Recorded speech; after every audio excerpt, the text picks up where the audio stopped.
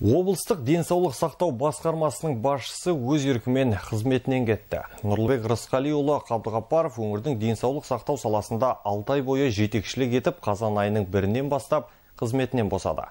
Нұрлыбек Рысқалиұлы бұл лауазымда коронавирус инфекциясы күшейген тұста басқарып, аймақтағы эпидемиологиялық ахуалды тұрақтандыруға атсалысты. Енді денсаулық сақтау басқармасы басшысының уақытша міндетін атқарушы Қабдығаппаровтың орынбасары дәрігер уролог медицина ғылымының кандидаты Асхан Мархабайұлы Байдуәлиев атқарады.